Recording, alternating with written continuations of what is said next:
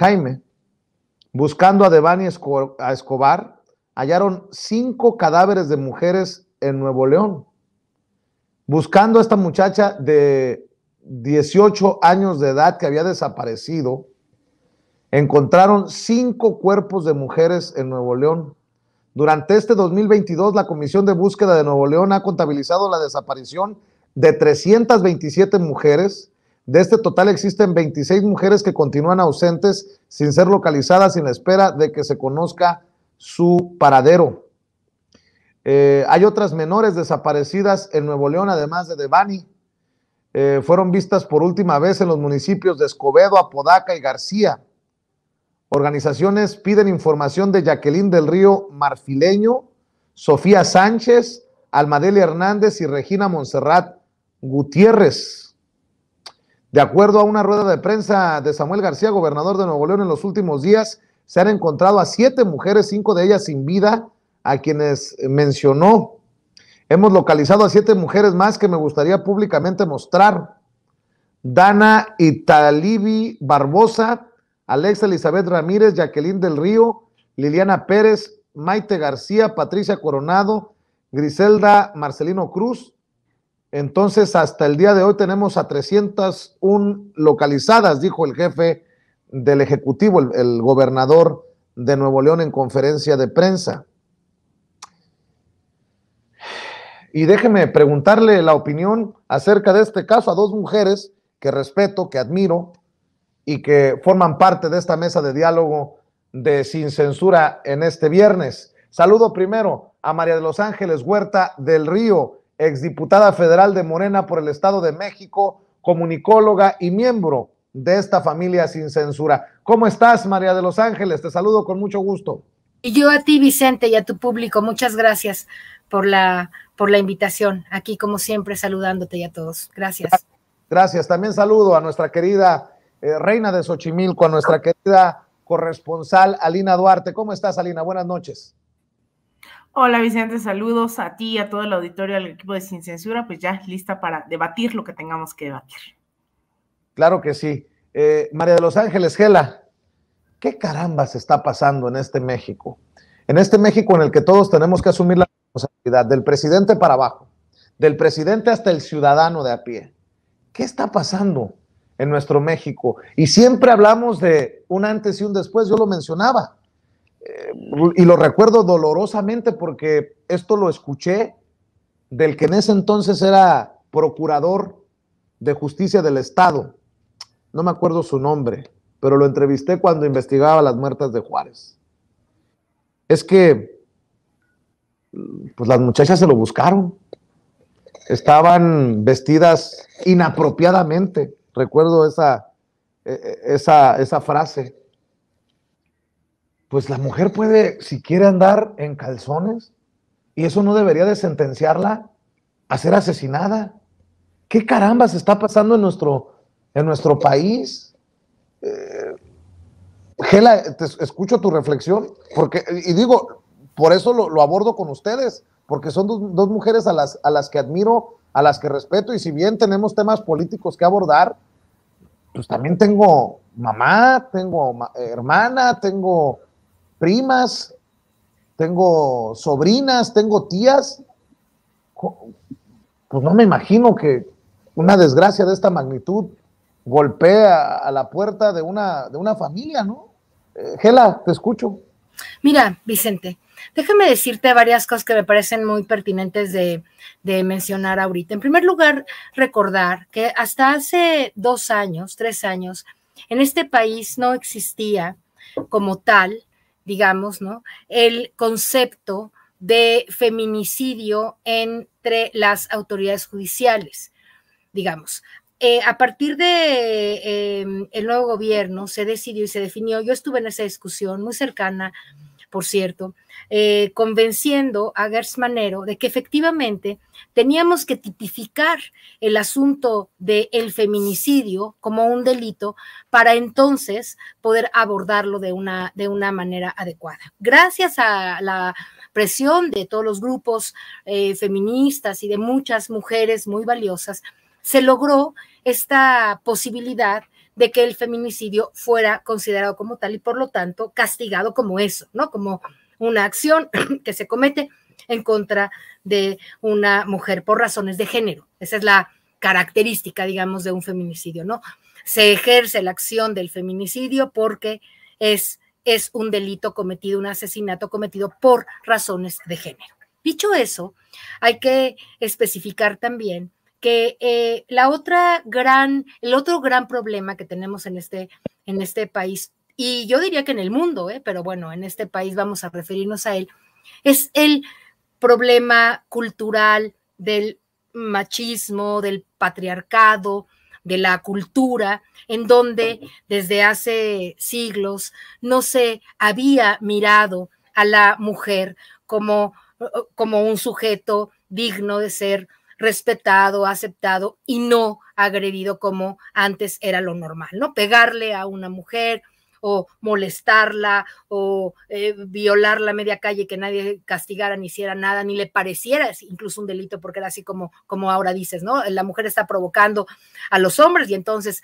culpa a la mujer por ponerse una minifalda, etcétera. Todas esas patrañas que han existido en la cultura, lamentablemente, pues son, entre otras cosas, lo que explica esta terrible violencia. Yo quiero hablar de las violencias sociales, porque a mí me parece que el problema si lo reduces solamente al tema del género, ¿no? Al tema de que las mujeres son agredidas por los hombres, estás olvidándote del contexto y de la cultura en donde todo está, en donde toda esta violencia, no solamente la violencia a las mujeres, sino por ejemplo la violencia a los hombres violadores a los hombres agresivos, que vivieron en una familia en donde muy probablemente fueron violados, violentados, molestados, esos niños o niñas desde entonces, por eh, familia. Sabes que México es uno de los países en el más alto número, de, en el más alta eh, eh, nivel de, de pederastía.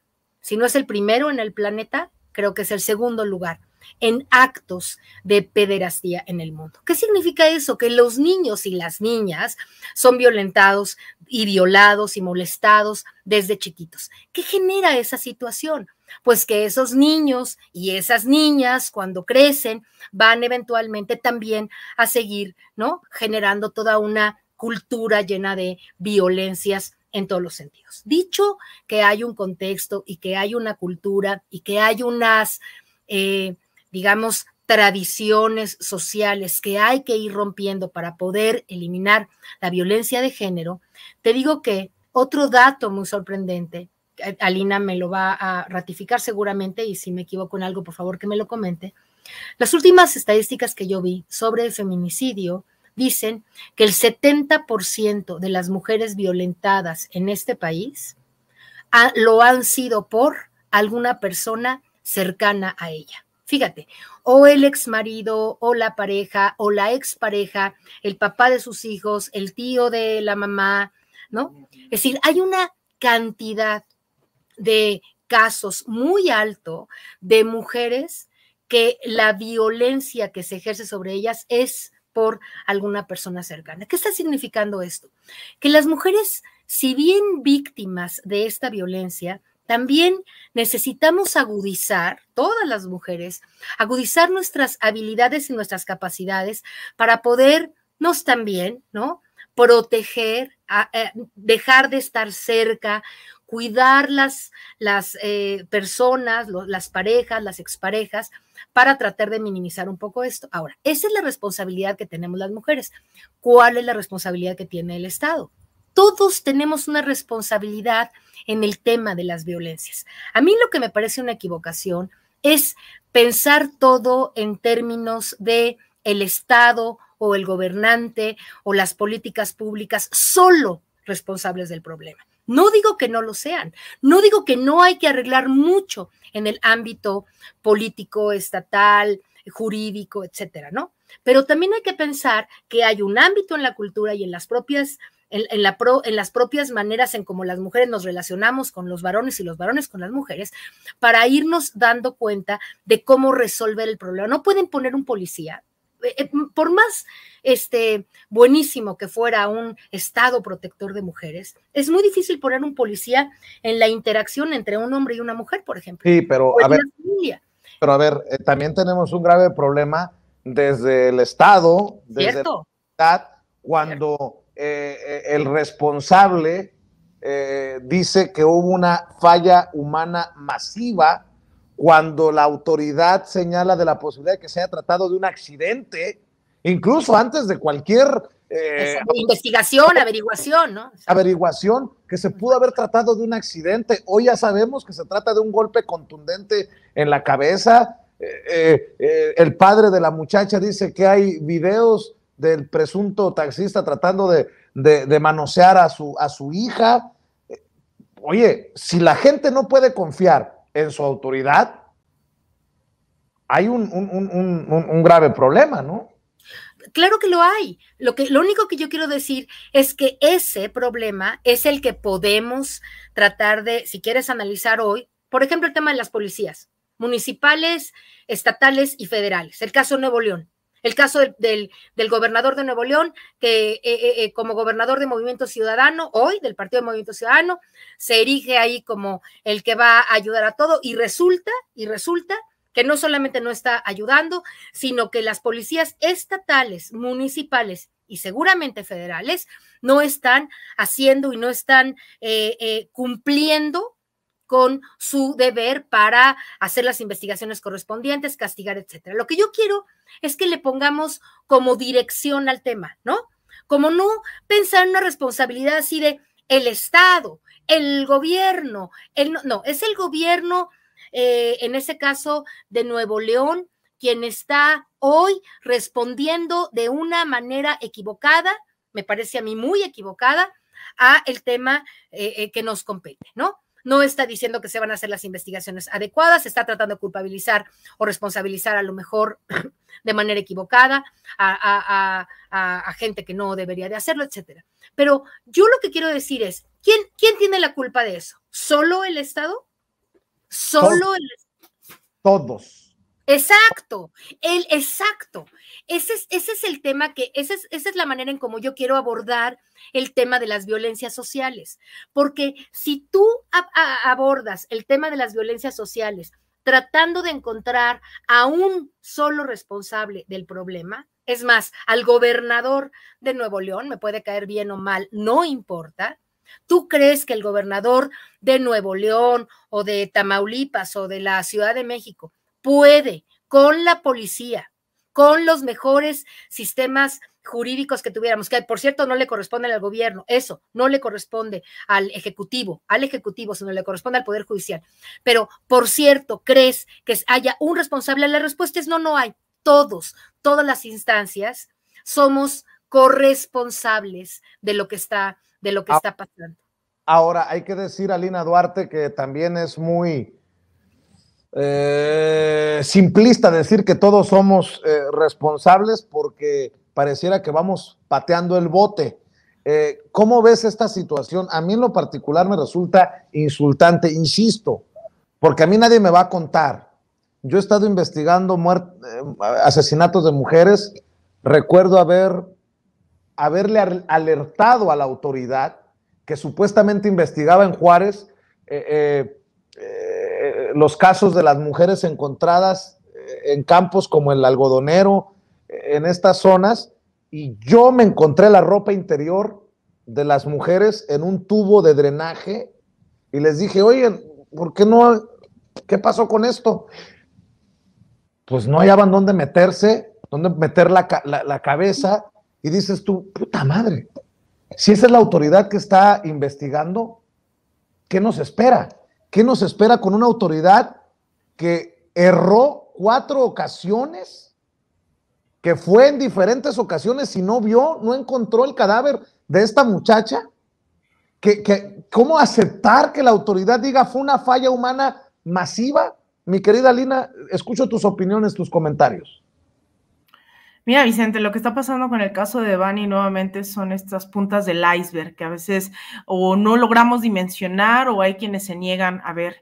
Yo sí creo, ¿no? Que la violencia patriarcal está un poco metido, eh, sea en menor o mayor medida en cada uno de nosotros y nosotras, pero yo creo que hay responsabilidades que deslindar.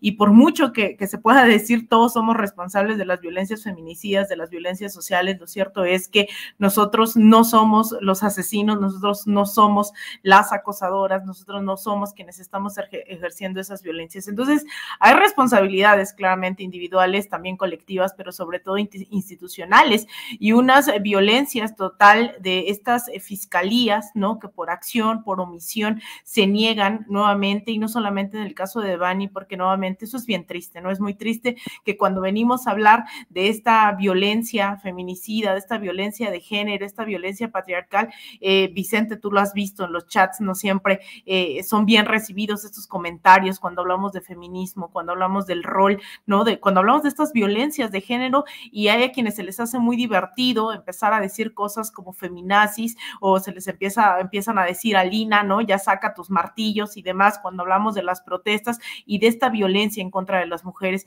Lamentablemente y en el mejor de los casos llegamos a hablar de estos, de estos, de estas situaciones cuando ya se ha cometido un feminicidio que como lo decía anteriormente, es verdad que antes no estaba eh, tipificado como tal, ahora en México eh, ya está eh, tipificado como, como esta violencia en razón de género, este asesinato en razón de género, lo cual es un gran avance, sin embargo, no es suficiente.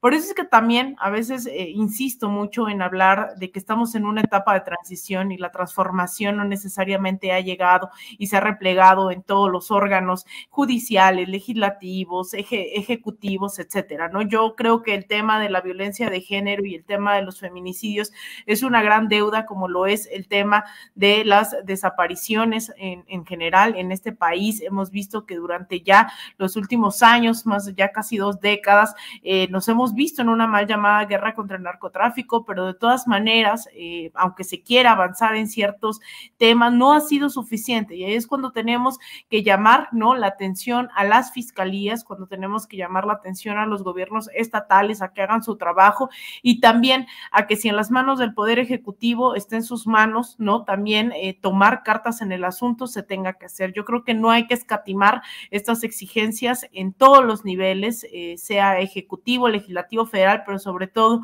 lo hemos visto no solamente en el caso de Devani, lo hemos visto en el caso de miles, lamentablemente, de mujeres que han sido asesinadas o que están desaparecidas, esta revictimización y que primero primero se empieza a condenar en los medios de comunicación y que yo entiendo y comparto esa rabia, ¿no? Del padre de Bani escuchando eh, sus declaraciones con todo el dolor del mundo. Eh, creo que es, eh, no se puede no entender la situación tan compleja cuando él dice estoy destrozado, estoy hecho pedazos y aún así los medios se quedan con declaraciones como si fue la responsabilidad de las amigas o no por dejar a Devani. Yo creo que ahí no está el tema. El tema es la omisión para realmente tomar cartas, insisto, en el asunto, poner estos debates, elevar el debate, dejar de revictimizar, pero también el actuar con políticas públicas muy específicas, también sea lo mismo a nivel local, a nivel estatal, a nivel federal, el hacer campañas de concientización, el poner a debate, ¿no? Estas masculinidades hegemónicas, el no tomarse como un chiste el tema del feminismo, el no venir a ridiculizar ni a revictimizar a las víctimas de que han sido asesinadas. Y ahí es cuando creo que estos espacios, yo te los he agradecido en muchas ocasiones, son espacios en donde podemos o no coincidir en muchas cosas políticamente, pero también tú lo has señalado, Vicente, eh, incluso yo recuerdo mucho un día en donde estábamos hablando sobre feminismo y tú te cuestionabas y decías que extraño, la gente eh, minimiza el tema o incluso la audiencia empieza a salirse, ¿no? De, la transmisión y decías, mucho hablamos de feminismo, pero también nos hacen falta, eh, falta debates sobre paternidades responsables y yo lo recuerdo mucho porque yo quisiera que así como tú llegabas a esa conclusión, muchos y muchas llegáramos también a eso. Primero se empieza a decir si la mujer tuvo o no la responsabilidad Vicente, podríamos salir a andar en calzones por la calle y nadie tendría que tener que tocarnos, nadie tendría que cuestionar por qué lo estamos haciendo. Esto no es un tema de moral, esto no es un tema de conductas individuales, estamos viviendo una violencia feminicida en este país que hay que alertar y hay que alertarlo en todos los niveles y yo nuevamente agradezco que podamos hacerlo en este espacio, el reconsiderar todo este tipo de debates, el decir no es un chiste, el decir que así como Devani eh, hay hay muchas historias, lamentablemente, en este país. Hace falta eh, abrir las redes sociales, hace falta eh, ir a la Procuraduría en las calles y ver carteles de mujeres pegados por todas partes. Esto no es una situación lamentablemente única, esto es algo que debe de llamar la atención de absolutamente todas las autoridades para decir que algo está pasando. Y cuando decimos de todas las autoridades, eso pasa de verdad por todos los niveles, ¿no? Yo sé que hay gente que eh, viene a decir decir es que la pareja fosfo, fosfo, fosfo, fosfo, ¿no? Hay de gobernadores, tiene que hacer algo. Yo estoy de acuerdo, pero también hemos visto que si siguen asesinando a 10 mujeres en este país eh, al día, diariamente 10 mujeres son asesinadas, yo creo que hay varias instituciones y varios, eh, varios niveles, ¿no? Del, del poder federal, ejecutivo, legislativo, que todavía hace falta que tomen aún mayor cartas en las cartas en estos asuntos. Así es, conciencia, eh, empatía, tantas cosas, tantas cosas que veo que faltan para no hacer declaraciones como las de las autoridades en Nuevo León o, la revictimización que hace el propio gobernador Samuel García. Dice el presidente en la mañanera, la gente no es mala por naturaleza, son las circunstancias las que llevan a algunos a tomar el camino equivocado. Creo que también es importante rescatar estas declaraciones del presidente Adriana. El mal. La gente no es mala por naturaleza. Son las circunstancias las que llevan a algunos a tomar el camino de las conductas antisociales. Entonces, ¿qué tenemos que hacer? ¿Cuál es el verdadero combate a la delincuencia organizada, el más profundo, es quitarles a los jóvenes que no tengan un semillero,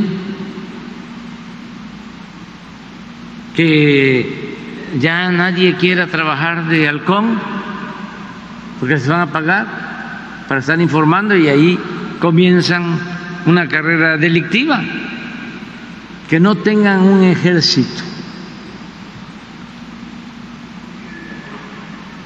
De jóvenes a su servicio, que se queden solos los capos, con sus lugartenientes, con sus sicarios, pero sin jóvenes y sin base social. ¿Por qué lo del huachicol? qué creció tanto? Bueno, esas son las declaraciones del presidente Andrés Manuel López Obrador que yo rescato por una razón. A mí sí me resulta esperanzador. Otra vuelta con este tema, si les parece, María de los Ángeles, Gela, Alina, y ya también entrará al sistema Daniel Marmolejo, el maestro Daniel Marmolejo. Me resulta esperanzador que el presidente de la República hable de estos temas de familias eh, lastimadas, de, estos temas que en, otro, en otros momentos no se hablaría. No veo a, un Felipe Calderón, a un eh, Enrique Peña Nieto, a un Fox hablando de las raíces de los problemas. Y, creo que mucho tenemos que hablar de, estos temas con toda la honestidad eh, y con toda la profundidad para con, la esperanza de, mejorar la situación en el, país, ¿no? Eh, en temas de feminicidios, en temas de violencia, eh, con, que no se queden en los números, de que si baja un poquito, sube un poquito, en fin, mi querida Gela Huerta, escucho tus comentarios me gusta en primer lugar mucho, Vicente, y te felicito porque no es eh, fácil escuchar a un hombre con esta conciencia, ¿no? De que ahora nosotros estamos, nosotros digo el gobierno, los poderes ejecutivo, eh, legislativo, eh, judiciales, pero en algún momento, viendo el problema desde una perspectiva diferente. No es ir a, a, mover el avispero para que haya más violencia y todo lo que hizo ese Calderón y Peña Nieto, es entender que estamos confrontando y enfrentando una realidad muy complicada. Y la realidad complicada, como ya lo decía ahí el presidente, es que mientras no haya futuro y, posibilidades económicas para las familias, para los jóvenes y para todo y para toda la gente de desarrollo. Es muy difícil acabar con estos problemas de violencia. Y te voy a decir algo más. Si nosotros consideramos qué es lo que significa en el fondo la frase tan traída, ¿no? Llevada por la oposición de que el presidente dijo que abrazos, no balazos, etcétera. Lo que en realidad quiere decir abrazos, no balazos es no podemos creer que la violencia se va a resolver a balazos matando a los malos. Así no se resuelve la violencia porque la violencia la tenemos que resolver en un cambio de la cultura, de la perspectiva, de la economía, de la manera de, mirar el problema. Y la violencia no se resuelve con violencia. Si alguien le pega a otro y entonces tú llegas con una pistola y lo matas y le sacas un ojo y luego él te saca el otro, eso no está resolviendo nada.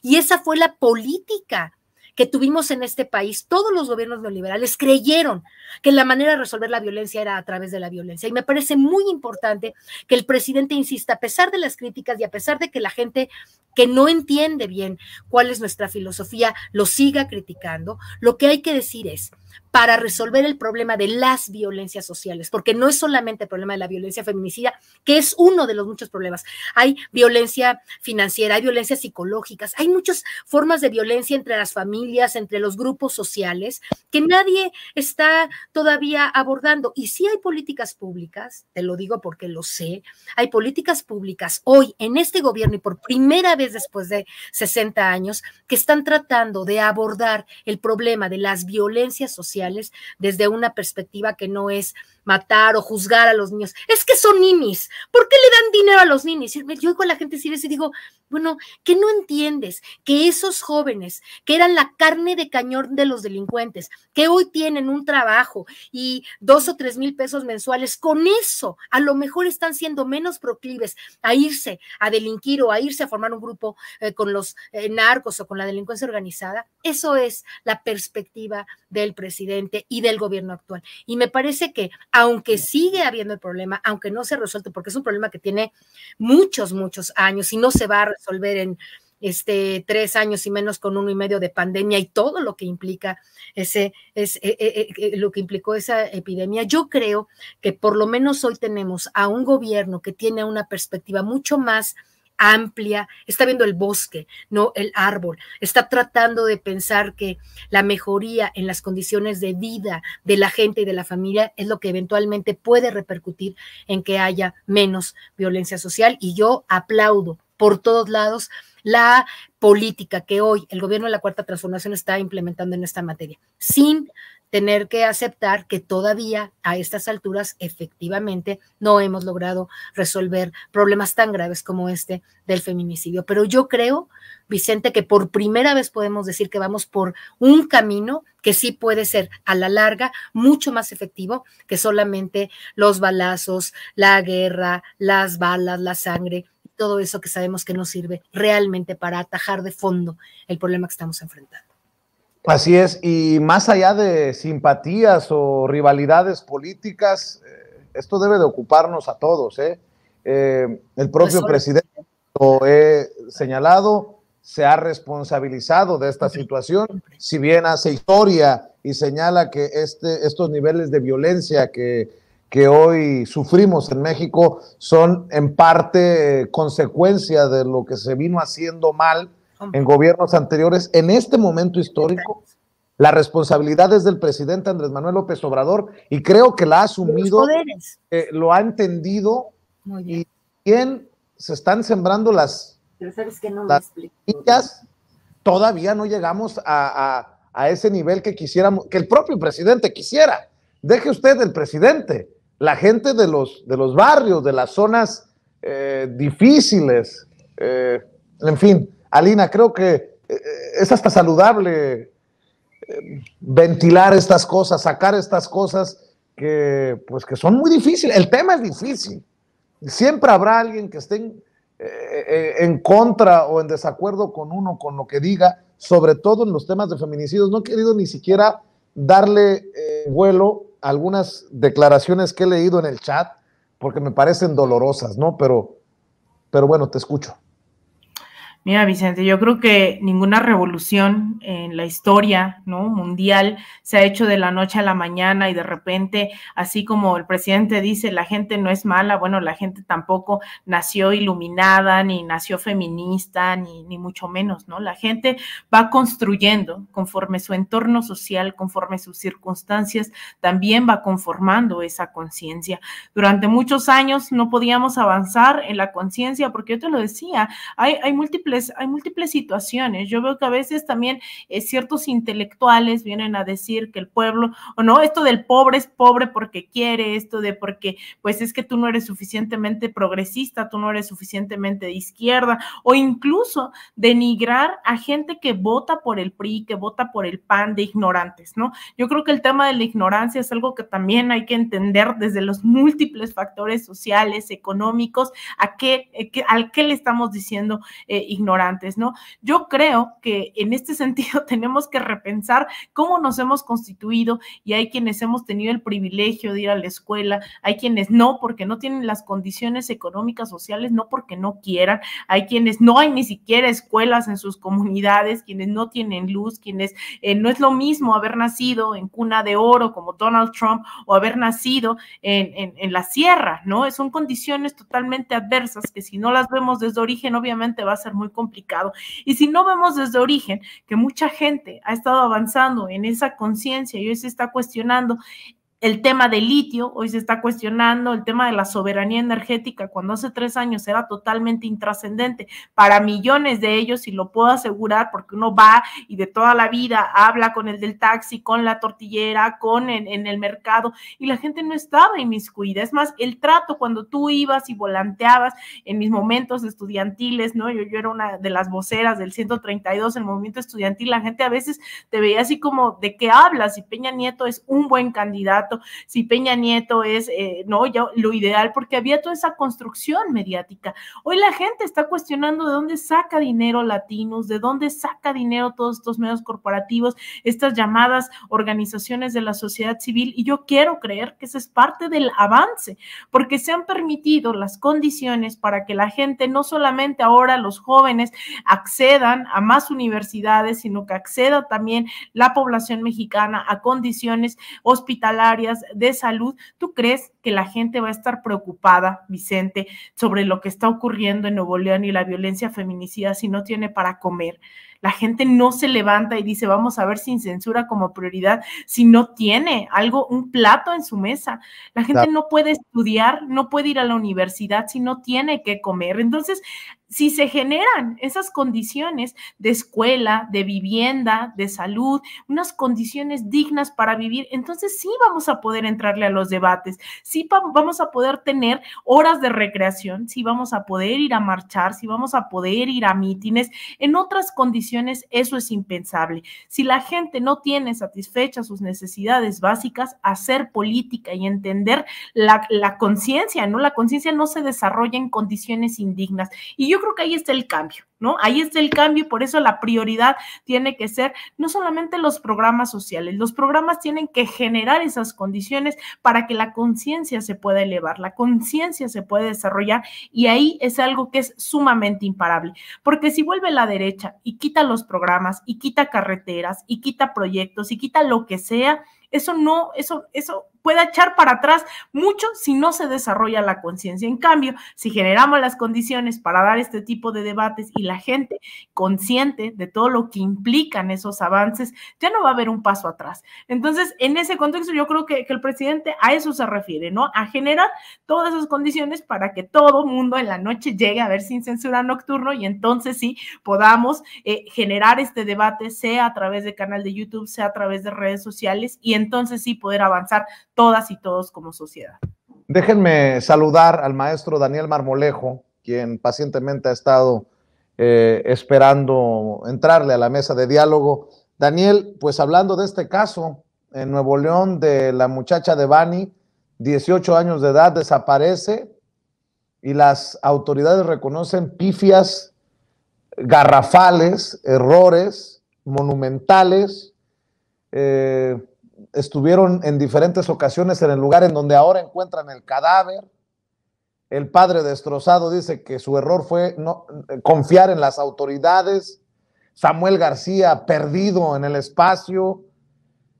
Y bueno, pues eh, eh, intentando encontrar un, pues un, pues no sé, no sé ni qué, eh, en algo que me, me duele, me confunde, me frustra pero que me lleva también a, seguir trabajando, a seguir luchando, a seguir empujando adelante, eh, mi querido Daniel, en estas ganas de tener un, México en el que nuestras hijas, nuestras madres, nuestros, nuestras eh, mujeres, pues no, bueno, y nuestros hombres, porque la violencia también eh, ha sido generalizada, pues puedan estar tranquilos.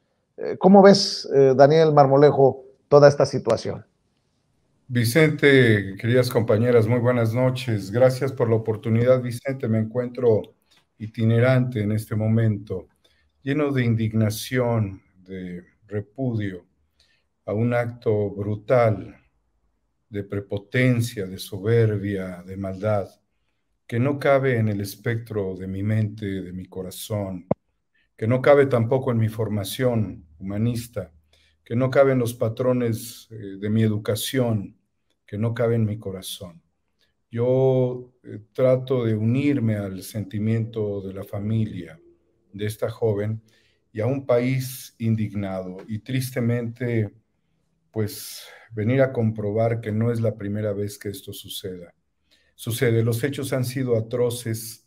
Eh, creo incluso, Vicente, que todavía no se ha profundizado en el drama de lo que ha vivido esta joven y sus familiares. Y esta reflexión no debiera durar pocas semanas ni días, porque es un hecho indignante para una sociedad. Desde luego, las autoridades han incurrido en deficiencias y no es la primera vez. Hemos visto que sobre cadáveres autoridades se han sentado y luego dicen que ahí estuvieron las víctimas en algo que también resulta ser un montaje. Y destruidos eh, como sociedad ante estas cosas que las hemos visto también en otros lugares del mundo.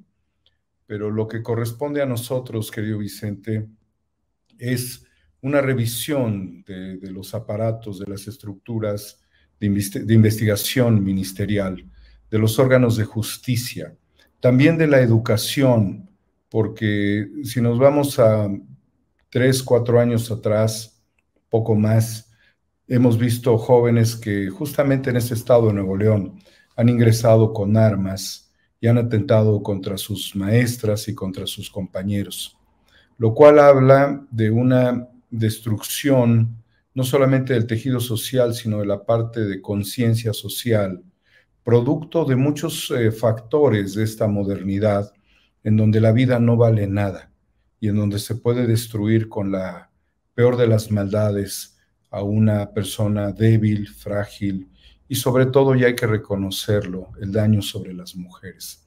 Estoy totalmente consternado cuando supe de esto, quise saber un poco más, eh, traté de obtener información desde diversas fuentes y lo que tengo es un absoluto estupor. Creo que las autoridades eh, de Nuevo León tienen que actuar en consecuencia absolutamente y en una vía extrema, radical y urgente, como pocas veces sucede. Se pudo haber evitado, Vicente, también es uno de, de, los razonamientos eh, más eh, necesarios y se pueden evitar muchos de estos fenómenos de destrucción de, personas a través del uso extremo de la violencia y de la peor de las condiciones degeneradas, eh, de la soberbia homicida.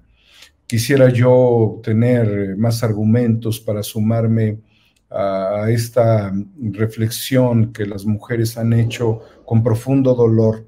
Me siento totalmente indignado, me siento débil para poder hablar de este tema. Querido Daniel, por cierto, eh, aprovechando, ¿cómo sigue Juaco?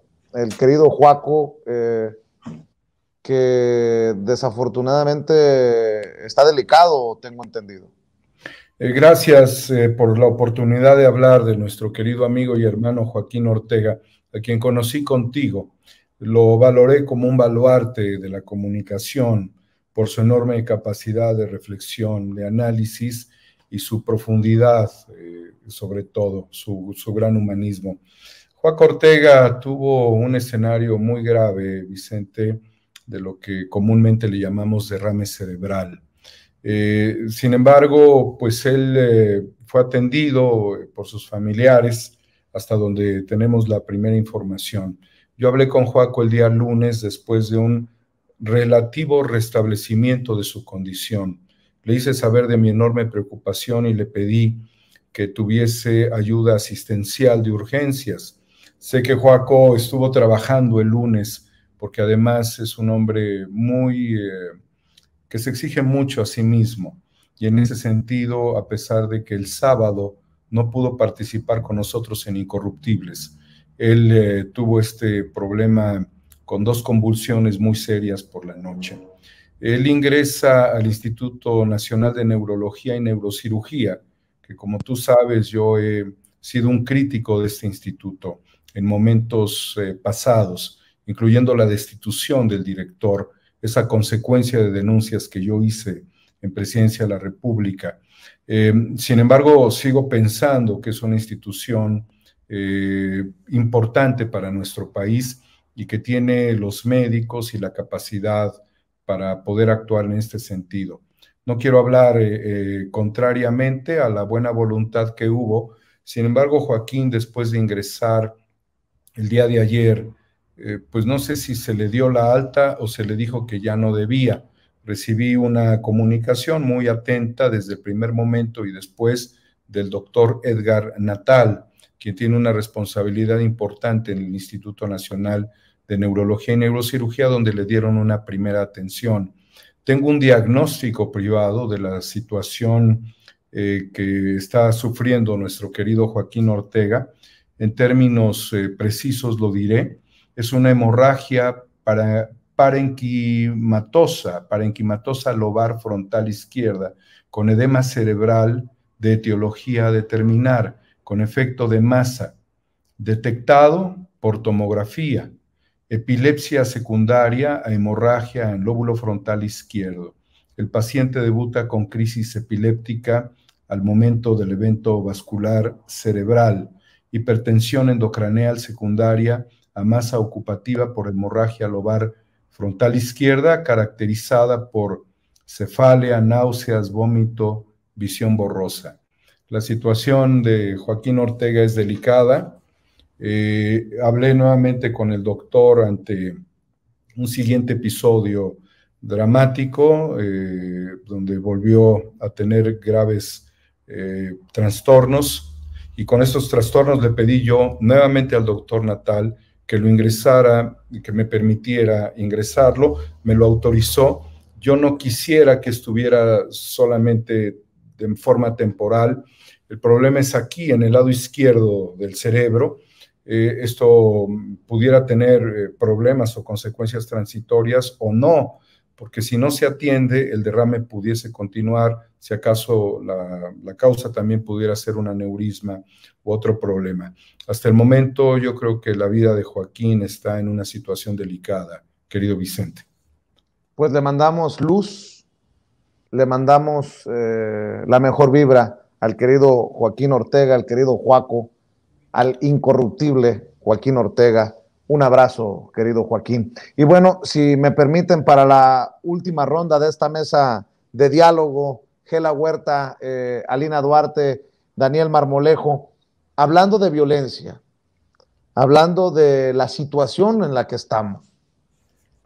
La gran hipocresía de la oposición de hacerse víctimas de una campaña de odio en contra de ellos por eh, dar a conocer su nombre, apellido, su fotografía, por su voto en contra de la reforma eléctrica, me lleva a también pedirles reflexionar sobre el llamado violento de uno de, de las mentes de los intelectuales de esa derecha, de esos ultraconservadores de Francisco Martín Moreno, el hombre exhibido hoy por el presidente Andrés Manuel López Obrador. Quienes empezaron a hablar de traidores a la patria fueron ellos. Dijo palabras con Pedro Ferriz de Con, Francisco Martín Moreno, que serían traidores a la patria los que votaran por Morena el año pasado. Dijo que haciendo eh, semblanza de la eh, Santa Inquisición, que por él no los colgaría, quemaría vivos a los morenistas. Eso no lo debemos de permitir ni ayer, ni hoy, ni mañana. Y lo han permitido desde estos conservadores, desde esta derecha que ahora se dice víctima de una campaña de odio, cuando es la furia del ciudadano de a pie, que por cierto, no amenaza, que por cierto, no habla de quemar a nadie, que por cierto, simple y sencillamente utiliza los mismos términos de traidores a la patria de los que habla Francisco Martín Moreno. ¿Por qué no cerramos reflexionando sobre eso, eh, Gela Huerta? Yo tengo la impresión de que el problema, y tú lo sabes porque lo he mencionado muchas veces, el problema en este país todavía es que las personas que comunican de, de los medios de comunicación masivos que comunican a las grandes masas son principalmente gente como Martín Moreno.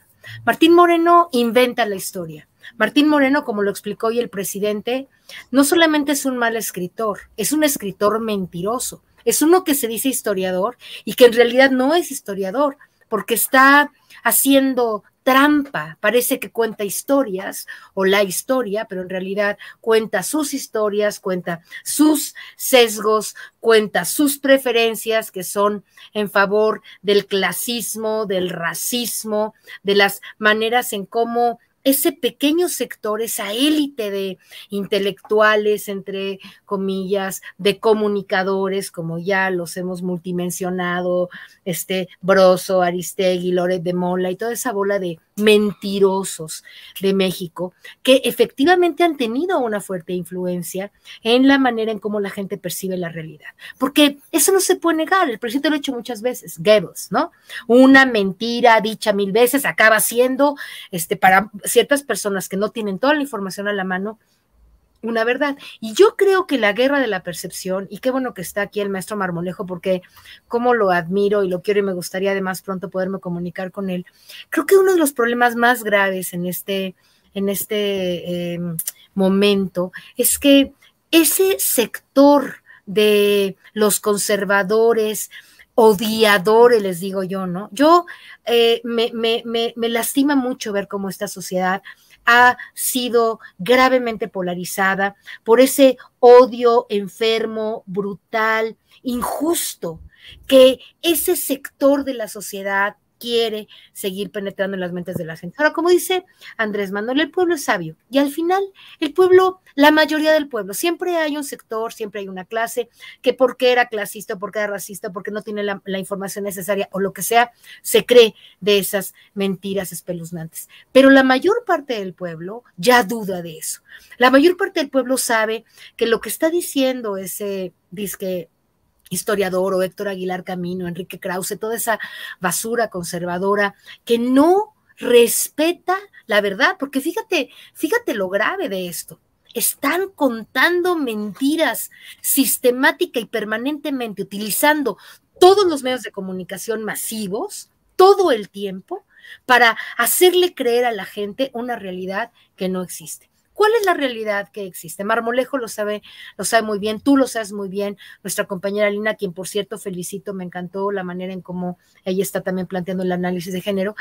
cómo es importante que tengamos una versión diferente, una manera diferente como la que el presidente nos brinda y los demás comunicadores ustedes para poder tener una visión. Yo creo que el gobierno sigue fallando muchísimo en materia de percepción y que mientras no tengan claro que esos medios tienen que tener con, tienen que tener información que los contrarreste a través de los mismos espacios. Porque, a ver, Vicente, tu programa, el programa de Marmolejo, el programa de los periodistas, eh, cuando Noroña habla en eh, eh, los medios, etcétera, en las redes, nosotros estamos diciendo el análisis verdadero, estamos diciendo lo que pasa en este país. Pero la gente que solo ve la televisión o que solo oye a Loreto, que solo oye a Broso, que no tiene el otro lado de la historia, no tiene la otra información y mucha de ella ni siquiera tiene acceso, porque ni siquiera sabe que hay otra información o a lo mejor no tiene redes sociales o a lo mejor no le alcanza para estar viendo todo el día el celular para ver a sin censura a todas horas, ¿qué hacemos con esa gente?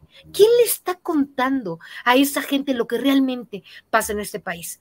Las grandes, por ejemplo, lo que hoy pasó en, en, en, en, Veracruz, lo que está planteando el presidente respecto al tren Maya, lo que la reforma eléctrica, fíjate bien, los traidores diputados del PRI, del PAN y, de per, y del PRD y de Movimiento Ciudadano no votaron en favor del pueblo, sino en contra del pueblo. Porque al negarse a aprobar una, una reforma que iba a permitir que se bajaran los precios de la electricidad y sacar a los extranjeros del negocio que es eh, eh, eh, la luz, porque lo que ellos quieren es que seamos como España y que Iberdrola un día sea el dueño de la luz en este país. Eso es lo que quiere el PRI y el PAN, porque para eso les pagaron, para eso les pagan maletines de dinero para que voten en contra del pueblo. Pero el pueblo que no le entiende bien a la cosa y dice, uy, pues qué bueno que los diputados del PRI detuvieron la reforma. Ni siquiera saben de qué se trata la reforma, ni siquiera saben que ellos son los traidores al pueblo. Y además ahora, fíjate nada más, ellos votan en contra del pueblo, les decimos traidores a la patria por haber querido, eh, por haber votado en favor de la pérdida de la soberanía, porque esa ley de Peña Nieto lo único que estaba haciendo es que se podía perder la soberanía en materia eléctrica y la gente no sabe bien la mayoría no sabe bien quiénes son sus verdaderos representantes. Así que esta campaña que tenemos, que, iniciamos, tú preguntabas en un programa quién la inició. Te voy a platicar quién creo que la inició. Creo que Noroña cuando se subió a la palestra y dijo, aquí hay traidores a la patria. Después, Epigmenio Ibarra, que en la conferencia de prensa con Mario Delgado en ese momento dice, dice que hay traidores a la patria y luego hace su, su columna diciendo que a los traidores hay que llamarlos traidores. Y después los comunicadores del pueblo, que yo empecé a hacer esa misma noche la campaña de evidenciar y sacarle fotografías a todos los traidores del pueblo y socializarlo en todo este país. Y todo esto tal vez ocurrió al mismo tiempo, no digo que primero Juan o Pedro, todo el pueblo al unísono como fuente ovejuna dijimos, estos son los traidores del pueblo y se llaman así y pertenecen al PRI y pertenecen al PAN y pertenecen al PRD y pertenecen al Movimiento Ciudadano. Ellos han dicho el cacas. México va a ser como Venezuela, el peligro para México. Todos los días, a todas horas, hablan pestes de una manera horrible. Los chairos, nacos, que dicen, ellos sí pueden violentar en este país con su verbalidad y con sus acciones a todo el pueblo y eso no es violencia. Y que nosotros les digamos traidores a la patria con argumentos, porque en la Constitución, en el 123 constitucional, dice que quien quiere dejarle a los extranjeros los, los, los, bienes, los bienes nacionales son unos traidores a la patria y deberían de ser juzgados por traición a la patria, según el 123 constitucional. Esos ahora dicen que no al odio, ¿Quién empezó con el odio? ¿Quién empezó a decir que Andrés era un peligro para México? ¿Quién le dice el cacas a nuestro queridísimo este, y admirado presidente de la República? Ellos, los odiadores, los que están enfermos. ¿Encabezados por quién? Por gente como Martín Moreno, por gente como Héctor Aguilar Camín, Enrique Krause, Broso, que está ya enloquecido, no se diga Loret de Mola, que gana 35 millones de pesos al mes y nadie va y le dice por qué y de dónde saca tales cantidades de dinero esos infelices comunicadores que tienen en sus manos los medios de comunicación social son los que están envenenando al pueblo. Y a esos son los que deberíamos de meter a la cárcel también, además de a los traidores diputados del PRI, PAN, PRD y Movimiento Ciudadano. Eso es lo que pienso sobre Martín Moreno y todos sus secuaces, mi querido Vicente. Me queda claro que haciendo referencia a Martín Moreno, también el presidente lo que dice, no somos iguales. Podemos hablar de traidores a la patria, pero nunca de quemar a nadie o alguien en el zócalo, querida Lina. Hay niveles. Totalmente, yo creo que a eso me refiero también, Vicente, cuando digo hay que elevar el, nivel del debate, porque yo creo que al nosotras y nosotros decir no somos iguales, no tenemos que caer en estos discursos, deja tú de odio porque no caemos en esos discursos, pero también veo que eh, empiezan a hacer referencias, ¿no? Yo entiendo la molestia, Dios mío, yo soy de las primeras que se tiene que tomar un Pepto Bismol al ver lo que tuitean, al ver lo que hacen, sin embargo, no somos iguales y nosotros y nosotras no vamos vamos a empezar a criticarles por sus características físicas, por eh, cuestiones eh, intelectuales, de, o con toda esta, este, estos argumentos que hoy con esta conciencia el pueblo mexicano está adquiriendo. Bueno, he visto cómo la gente está citando el Código Penal Federal con el tema de la Constitución. Eso, creo que esos son los argumentos por sobre los cuales nosotros moralmente, éticamente, podemos decir que nosotros estamos del lado correcto de la historia. No me queda duda de que estamos en ese lado y que no tenemos que caer ni en la reproducción. Y a veces yo, yo me cuestiono, ¿no? ¿Hasta dónde tenemos, eh, hasta dónde? Porque hay un límite bien delgado entre evidenciarlos y de repente hacer eco ¿no? De todos estos discursos. Y yo siempre lo pienso cuando se trata de Lili Telles y de Gabriel Cuadri. Son dos personajes que yo quisiera estar diciendo y contradiciendo todo lo que dicen, pero llega un momento en donde hemos visto que tienen la palestra cuando desde la mañanera se les menciona, cuando desde una conferencia o cuando tú los mencionas, pero de ahí en fuera es una oposición que no tiene esa capacidad de mantener un debate a, ningún nivel. Hemos visto un Loret de Mola, hemos visto, bueno, específicamente en el caso de Loret de Mola es impresionante, porque también en ese debate tenemos que decir hasta dónde le damos ecos y hasta dónde incluso reproducir lo que ellos están haciendo, aun cuando lo digamos con argumentos, ¿no? Contraargumentemos, eso les está redictando hasta económicamente. Y en el momento en el que el presidente López Obrador no los menciona en la mañanera, Latinos no figura en ningún espacio, ¿no? Se les hace un favor, pero además con todo esto, con el evidenciarlos, hasta están ganando y se están llenando los bolsillos. Entonces, no somos como ellos, no somos como ellas, ¿no? Yo creo que hay una diferencia, pero sobre todo radica en lo ético, radica en lo moral y sobre todo en los argumentos. Dicho a lo Vicente Serrano, con tener los pelos de la burra en la mano. Así que yo creo que ahí está en donde tenemos que poner los acentos y seguir construyendo dentro de las narrativas, estas contranarrativas pero sobre todo elevando el debate y la conciencia de nuestro pueblo. Ya el de los colmos, Daniel Marmolejo, para escuchar tu reflexión. Veo a una oposición que está relacionando al presidente Andrés Manuel López Obrador con el caso de, de Bani. Veo que le ponen eh, lo mismo un AMLO eh, eh, en, las fotografías que se toman o en las eh, en los carteles que están surgiendo en redes sociales, por ahí ponen a AMLO como si fuera el mismísimo asesino de la muchacha. Eh, con lo que estamos hablando también de un Francisco Martín Moreno, vaya que si hay una infección, una, un contagio en un sector de la sociedad mexicana de estas formas y de este pensar precisamente estoy viendo en redes sociales a una mujer que es exhibida por escupir a una funcionaria en Metepec. Esta mujer, ya llamada Lady Escupitajo, le escupe a una guardia en una zona residencial de San Carlos en Metepec y lo que le dice es, sí sabes quién soy, ¿verdad? Ese es el pensamiento, eh, mi querido Daniel Marmolejo, de muchos de estos traidores a la patria. Vicente, estos eh, sujetos son pirómanos, estos sujetos son personajes malignos de la sociedad. Quien pueda hablar de desarrollar una estrategia eh, de aniquilamiento burocrático o estructural sobre otras personas, es una conciencia, o más bien es una inconsciencia de los narcisistas malignos, que no tienen corazón, pero al mismo tiempo son cobardes. Lo primero que yo lo hago a título personal, con la fuerza de mi carácter, es retarlo para que me lo demuestre. Así se lo digo a Martín Moreno, con todas las eh, mil palabras que escribe por minuto.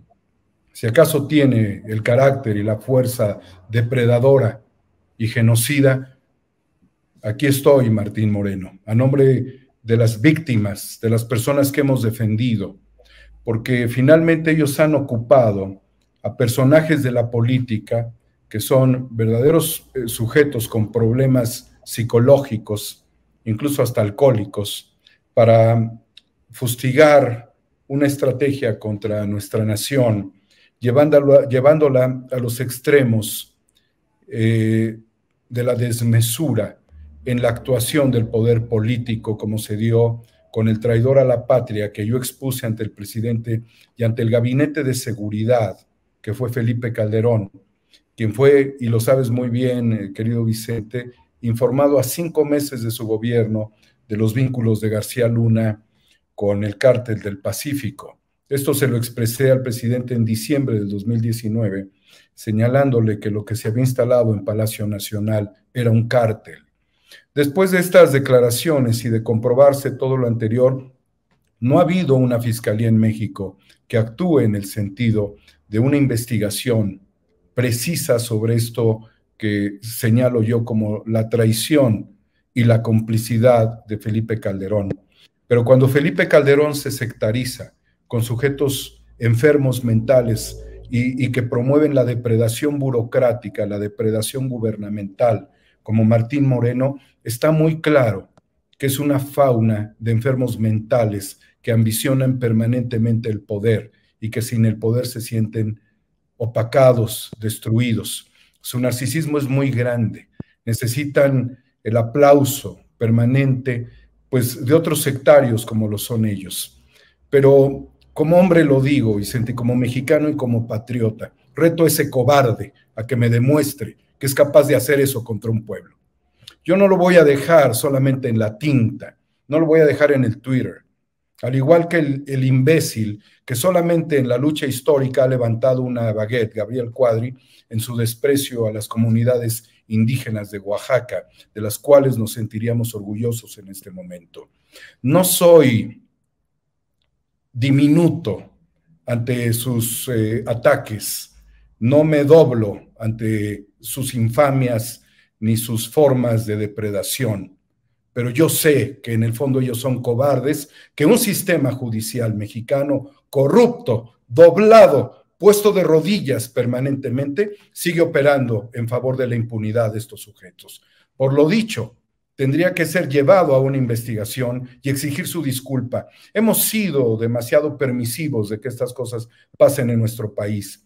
Pero esta es la mente de los fascistas, Vicente, es la mente de Vox en España, es la mente de Martín Moreno, es la mente del PAN, es la mente de Lili Telles, es la mente de una bola de infames a los que incluso el partido del presidente les ha abierto la puerta para que ocupen espacios de representación. No nos representan, son absolutamente indignantes y lo reto a que me lo demuestre. Te hablo a ti, Martín Moreno, yo a ti no te tengo miedo, ni a tus miserables palabras. Tu último libro va a ser La 4T, un pacto entre AMLO y los extraterrestres. Ya no tienes nada que decir, estás agotado.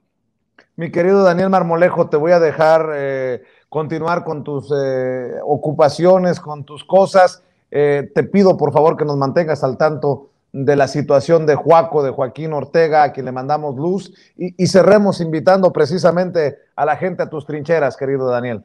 Muchas gracias, Vicente. Estamos muy atentos y dándole seguimiento al gran Joaquín Ortega, extraordinario analista, un hombre combativo. 4A República, ustedes saben, con el número 4 en YouTube y Homo Ex Novo. Nunca nos vamos a bajar de la vanguardia de esta lucha, querido Vicente. Agradezco a las compañeras la oportunidad de estar aquí y que me hayan permitido. Te, te abrazo, mi querido Daniel Marmolejo, el maestro Daniel Marmolejo hablando con nosotros sin censura. Querida Alina Duarte, ¿en dónde te apoyan a ti? Hay que compartir tus trincheras. Muchas gracias, Vicente. Pues yo las y los invito a que me sigan en Twitter. Me encuentran como arroba Alina Duarte-bajo, en Instagram-bajo Alina Duarte. Vayan, suscríbanse a mi canal de YouTube. Me encuentran como Alina Duarte. El próximo mes arrancamos de lleno ya con las transmisiones eh, semanales. Y pues bueno, agradecerte a ti, Vicente, nuevamente este espacio, estos debates, la oportunidad de hablar sin censura en todo, todo, todo, todo, toda ocasión, todo el tiempo. Eso me queda claro. Y un abrazo a, a los compañeros y sobre todo también esta audiencia que además está en el chat eh, participando bastante, así que nos vemos la próxima semana aquí en Sin Censura. Claro que sí, un abrazo Alina Duarte. Gela Huerta, ¿en dónde te encuentran a ti, en dónde te apoyan a ti? Gracias, Vicente. En Comunicadores del Pueblo, en Facebook, en YouTube, en Twitter. Tenemos también mis canales, ya sabes, Gela Huerta, igual en, en, el Facebook, en Twitter, y yo quisiera decirle, y si no sé si ya se fue Marmolejo, pero querría preguntarle aquí públicamente si le puedo llamar, por lo, lo quisiéramos invitar al Consejo Consultivo de también de los comunicadores del pueblo y a toda la gente, Vicente, que quiera empezar a participar de manera activa, hay un espacio de trabajo voluntario y político a través de los comunicadores del pueblo. Lo único que tienen que hacer es entrar a las al Facebook, a través de ahí se pueden comunicar conmigo por WhatsApp y entonces yo los ingreso a los chats y al trabajo eh, permanente de, nuestra asociación civil. Te agradezco mucho el espacio, saludo a mis compañeros, a Lina y a y a Marmolejo y espero eh, que estés muy bien, Vicente. Muchas gracias por esta oportunidad, como siempre te la agradezco. Claro que sí, muchas gracias, eh, Gela Huerta, gracias Alina Duarte, gracias Daniel Marmolejo, ya quedan pendientes de comunicarse y, y siempre honrado, orgulloso de que formen parte de estos esfuerzos. Gracias Alina, gracias Gela, buenas noches. Hola nos vemos Vicente, bye bye. Eh, vámonos. Amigos, amigas, regresamos en breve pero mientras seguimos hablando sin pelos en la lengua, sin censura, usted puede suscribirse a nuestros tres principales canales en YouTube. Sin Censura Media, en donde tenemos más de 1.600.000 suscriptores. Sin Censura TV, en donde tenemos más de un millón de suscriptores.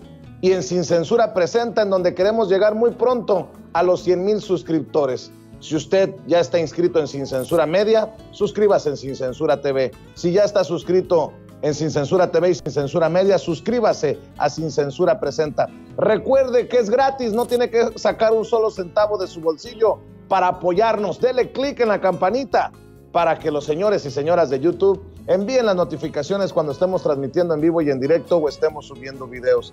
También nos puede seguir en Twitter en arroba guion bajo Vicente Serrano y hasta en Instagram. Ojo, eh, también estamos en Instagram. Son nuestras redes sociales y con el apoyo de ustedes seguimos creciendo, porque con ustedes todo, sin ustedes nada.